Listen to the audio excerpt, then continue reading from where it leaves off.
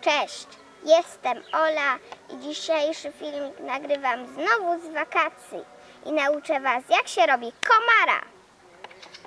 Najpierw zakładamy na kciuk i teraz z lewego kciuka dwie nitki obwijamy wokół całej ręki.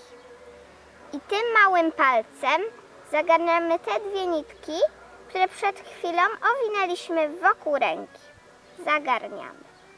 Teraz drugim małym palcem zagarniamy dwie nitki od prawego kciuka. Zagarniamy.